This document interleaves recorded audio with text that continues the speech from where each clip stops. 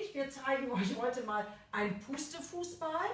Und wir haben jetzt hier so ein Brett mit, wo an den Seiten ähm, was ist, damit der Ball nicht ähm, wegfliegen kann. Ihr könnt das zu Hause so machen, indem ihr zum Beispiel auf dem Esstisch so Handtuchrollen legt oder irgendwas als Abgrenzung, sodass der Tischtennisball auch wirklich nur hier vorne bei Helen oder bei mir rüberspringen kann. Man kann das Ganze auch als so ein kleines Fußballspiel.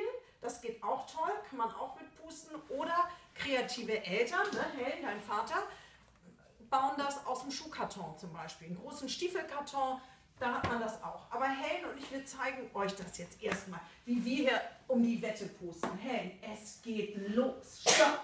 Auf die Plätze. Fertig. Los.